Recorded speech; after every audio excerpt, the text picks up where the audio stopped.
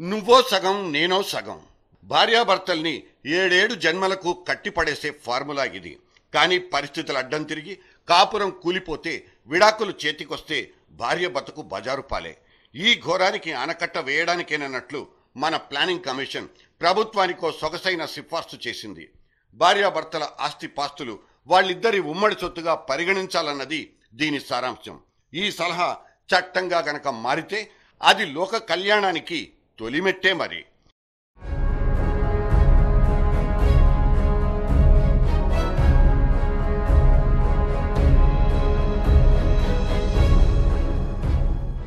షాబాను అరవై రెండు సంవత్సరాల వయసున్న ముస్లిం మహిళ ఐదుగురు పిల్లల నిరుపేద తల్లి మధ్యప్రదేశ్ క్యాపిటల్ ఇండోర్ ఫుట్పాత్ మీద కనిపించే ఒకానొక చారిత్రాత్మకమైన అనాథ.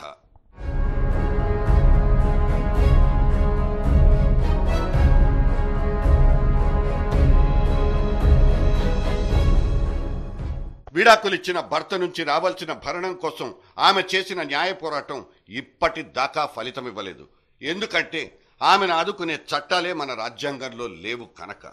ఒకవేళ ఉన్నా వాటికున్న లొసుగులు అన్నీ ఇన్నీ కావు.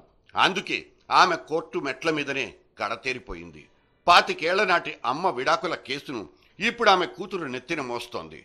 రాజీవ్ గాంధీ ప్రభుత్వం పాస్ చేసిన ముస్లిం ఉమెన్ ప్రొటెక్షన్ చట్టానికి స్ఫూర్తినిచ్చింది ఈ షాబానో జీవితమే అయినా ఆమెకు మాత్రం కనీస న్యాయం జరగనే లేదు.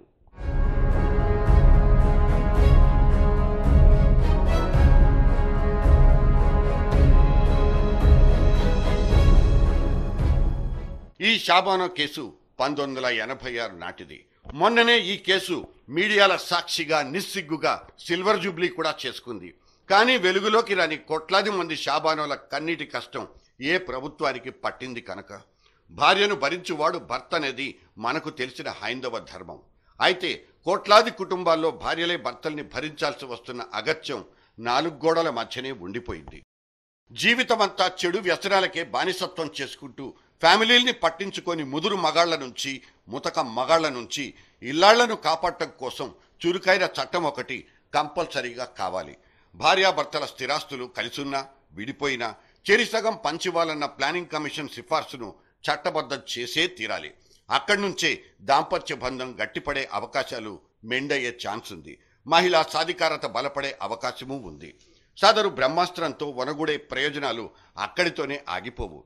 చిన్నా చితకా స్పర్ధలకే విడాకుల దాకా సాగదీసే మొగుళ్ళకు ఈ చట్టం ఒక నికార్సైన ప్రమాద హెచ్చరిక.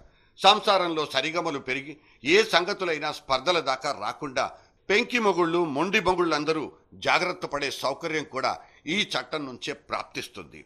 అల్టిమేట్గా విడాకుల కేసులు తగ్గిపోవడం కుటుంబ వ్యవస్థ పటిష్టపడడం సంభవిస్తుందని సమాజం మీద అక్కర చూపించే వాళ్ళ ఆశ ఆచయం కూడా. కేంద్రంలోని ఏలికలు గనక కాసింత కనికరిస్తే ప్రతి ఇల్లు ఒక బొమ్మరిల్లే.